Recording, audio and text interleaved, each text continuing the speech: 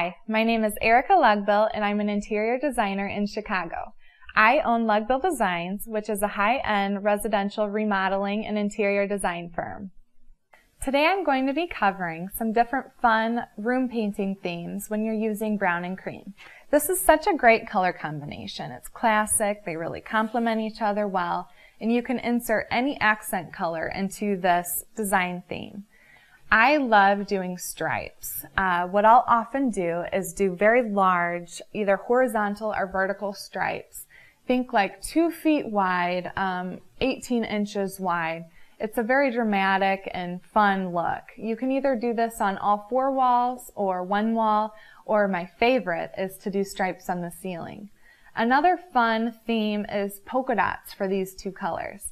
I think this makes a great nursery or a younger kid's room. And the good thing about using these two colors is they won't grow out of it.